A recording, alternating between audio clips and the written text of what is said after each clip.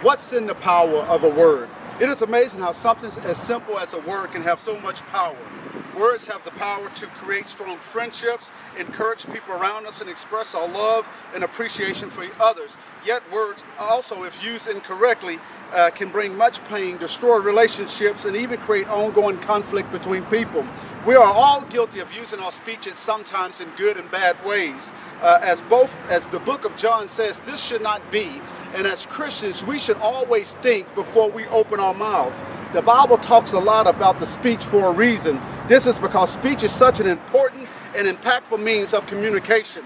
It is important to remember that as followers of Christ, uh, our speech must be different from that of the world. Uh, we should not have obscene speech. We should not have mean speech that shouldn't be the way as far as how people think of us when they think about Christians. Rather, we should be known as people uh, who have fun, people who speak uh, truth into people, people who speak encouragement into people, and people who lift individuals up. God desires us to have a positively influence on others with our speech.